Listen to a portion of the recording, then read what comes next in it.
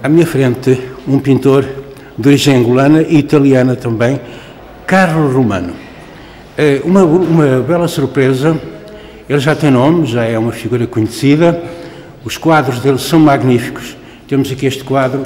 Encontrei-o por um feliz acaso aqui à saída do metro. Ele amanhã tem uma exposição. Fala-me dessa exposição. A minha exposição chama-se Afrofilia, Antologias de um Samba. Eh, é uma exposição do universo que eu criei chamada Afrofilia, eh, onde, onde eu explorei vários registros eh, de linguagens artísticas, desde a pintura, a dança, a filosofia, a moda, a poesia, a instalação, vídeo. Pronto, ainda tenho que criar isso tudo no universo é, eu, único, diferente. É música também, criei música de orquestra. Pronto, onde misturei os ritmos clássicos com os ritmos étnicos africanos. É o que se pode dizer um artista é, é, multifacetado. Você faz-me lembrar um bocado o Almada Negreiros, que nasceu em São Tomé. Note, a mãe, a, mãe era, era, era de Angola, era de Benguela, não é? E ele casou com, uma, com um português e veio aos dois anos para Cascais. E ele era um artista multifacetado. Portanto, você, a sua origem, explica um pouco de si, fala um pouco de si. Uh, eu nasci em Angola, nasci lá com 4 anos de idade. O meu pai era lutador de boxe. Lutador de boxe? Sim, fundou um boxe em Angola. E Como é que ele se chamava? António Romano.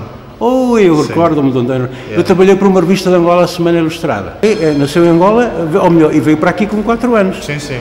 Uh, vim para aqui, depois estive em Itália, estive no sítios, que o meu pai lutava boxe e era treinador de boxe e foi atleta do Sporting, pronto, como é, que, como é que descobriu esta faceta? Ah, foi sempre assim, isso é, é existencial.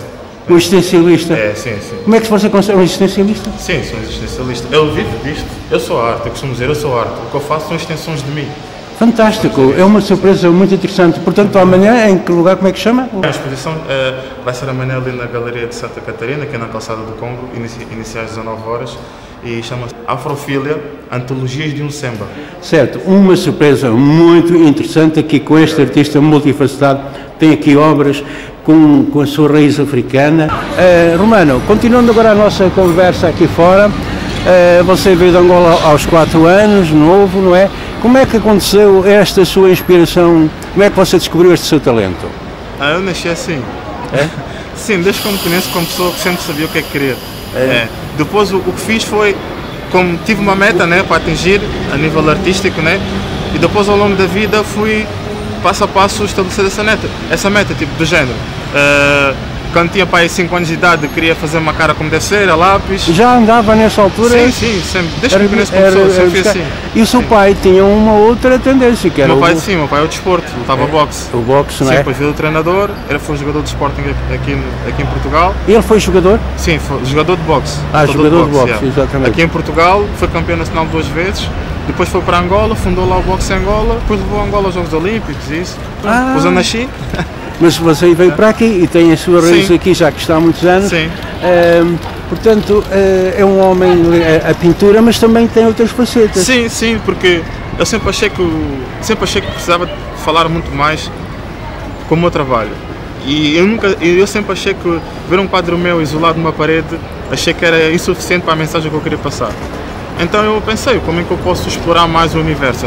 Mais passar uma mensagem mais, mais bem definida. Então eu pensei em trabalhar outras áreas artísticas que eu, que eu gostava e fui trabalhando. Canta, canta, dança? Não, canto não, não, não. mas que só criou música sinfónica. Ah, é? Música de orquestra, sim. sim. Você toca? Não, sim, toco, toco algumas coisas, mas não sou virtuoso, acho eu.